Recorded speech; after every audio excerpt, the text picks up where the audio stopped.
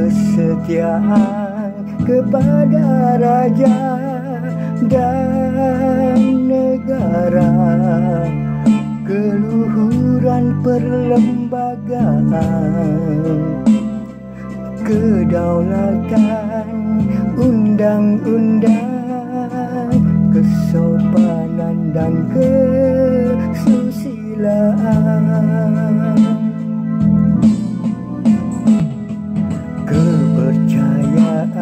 kepada Tuhan. Kesetiaan kepada raja dan negara. Keluhuran perlembagaan.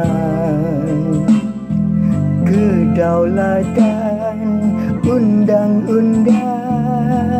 Kesopanan dan kesusilaan